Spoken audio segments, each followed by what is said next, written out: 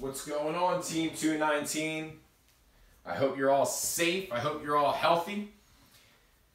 So, we are officially in to Module 10. Double digits in the modules. Crazy to think how far we've come throughout the course of this school year. So, we just finished Module 9 where we learned about greenhouses and planting your own foods and being resourceful, like we always say, right? Always use your resources. And we are going to be shifting in to a new type of genre and a new type of idea or central idea, which we're going to talk about in a second, as we get into Module 10.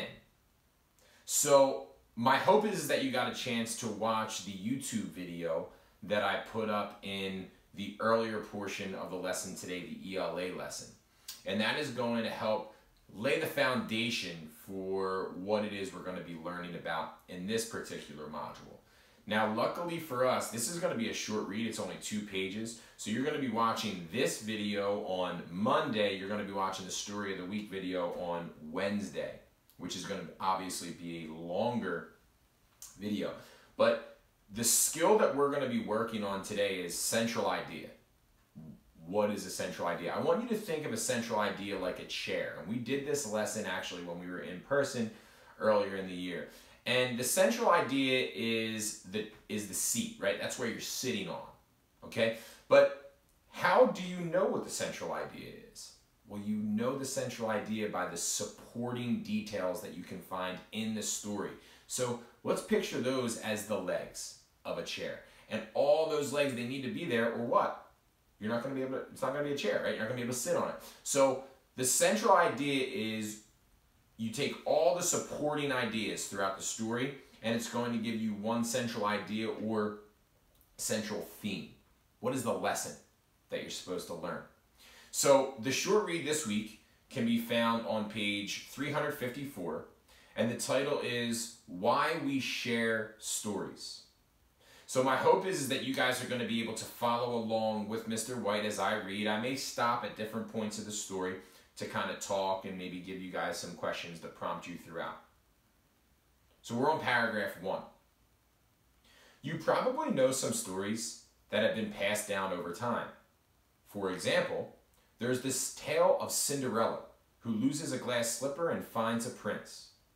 You may also know about Jack, the boy who climbs a beanstalk and stands up to a mean giant. Both of these tales have been around for many, many years. Why do people tell certain stories again and again? People might tell stories to teach lessons about the right way to behave. They might share stories about a people's history. A story might recount or tell about how something came to be. It may tell about a hero or give advice. All these stories together make up a people's folklore. So I'm going to stop right there. There's two words, recount and folklore. Two words that you may have never heard before, but hopefully you got a chance to look at those because they are some of our vocabulary words that we're looking at this week.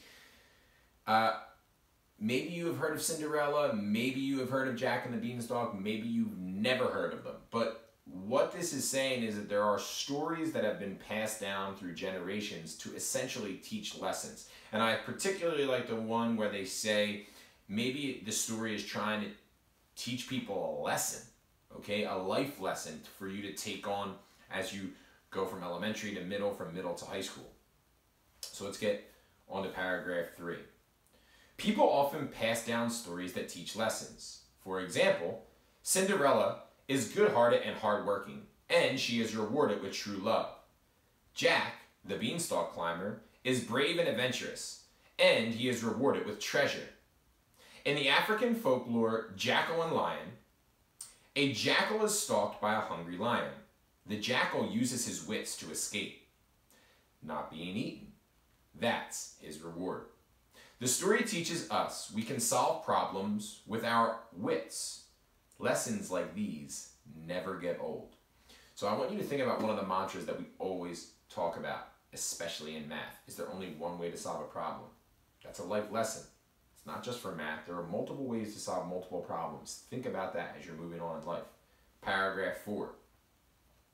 Long ago, When people had a question about how the world works, they make up a myth, legend, or folk tale to explain it.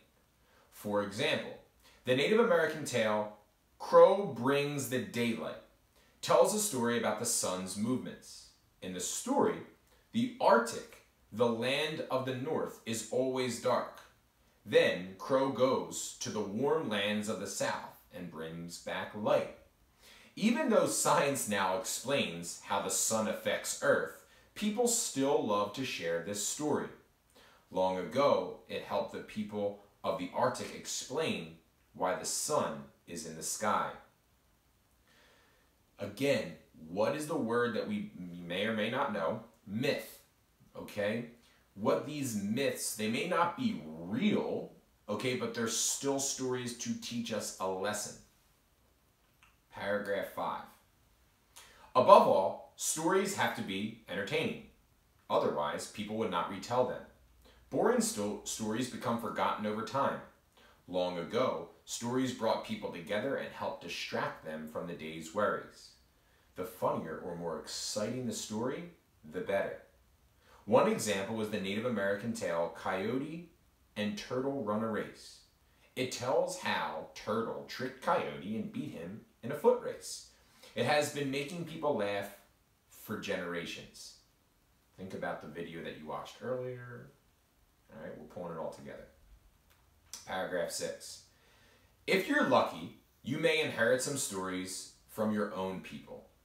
Your people are probably your family, but they may also be the people in your town, in your school, or any group you spend time with. If you do hear a good story, be sure to pass it along. Every time you share a story, you are helping to keep it alive.